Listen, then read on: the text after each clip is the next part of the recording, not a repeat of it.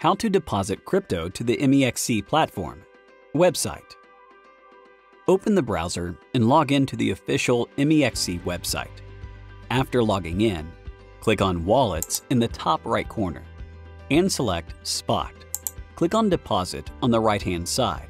Select the crypto and the network for the deposit. Then click on Click to generate the address. Let's take depositing MX tokens using the ERC20 network as an example. Copy the MEXC deposit address and paste it onto the withdrawal platform.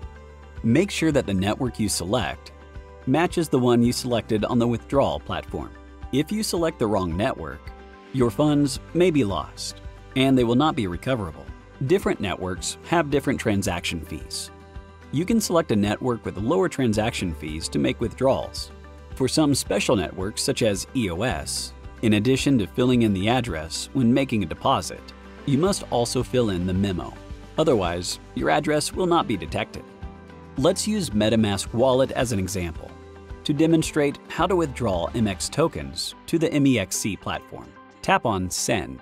Paste the copied deposit address into the withdrawal address field in MetaMask.